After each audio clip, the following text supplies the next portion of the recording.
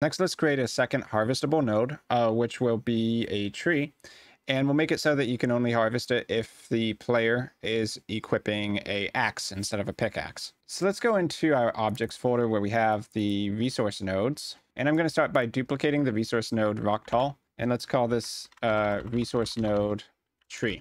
So we'll double click into it. And uh, of course, the first thing we're going to want to do is change the sprite. So in the art pack, we'll go to the objects and we'll find where we have a tree we can use. So I guess we'll use this pine tree. Let's drag that in there. And we can also rename the scene file to be pine tree as well. Or let's do tree underscore pine to have it sort better alphabetically. Let's rename the node in the scene, resource node, pine tree. And the pickup type, well, we already created that. It's going to be brown ward. So drag pickup brown ward into the pickup type scene. We'll leave most of the other settings alone here. Uh, the last thing we need is to change the node type. So this is going to be uh, for nodes that are harvestable by axe. So we need to create that type and resources types.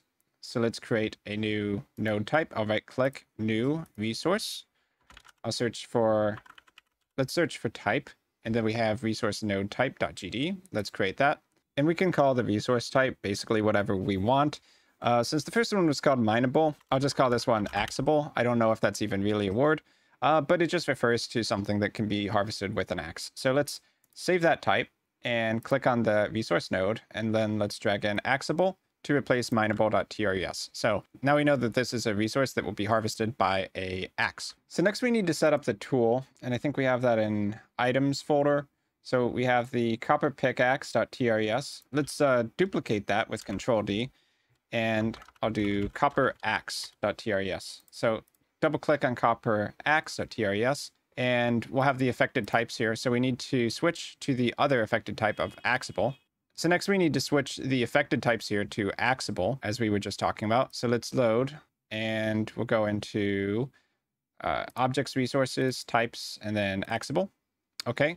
And we need to change the name here from copper pickaxe to copper axe and the texture. Of course, we'll use the axe icon for that.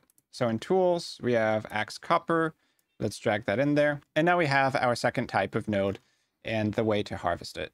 Let's add some trees to the game level. Obviously the file system has a lot of items now.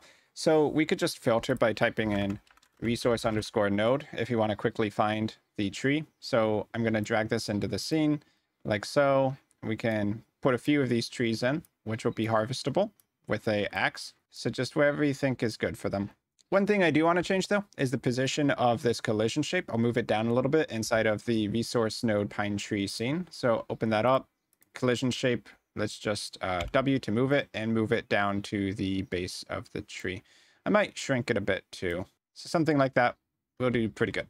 So for sure, these pine trees are harvestable nodes, but let's show that it's not going to work with the pickaxe because pickaxes only target mineable nodes. So let's go over here to this node and you can see the wood trees they don't do anything right now, but we can still harvest the rocks, of course. We can still pick up a tree that's on the ground or wood that's on the ground, but we have to be able to switch to a copper axe now if we want to actually harvest a tree.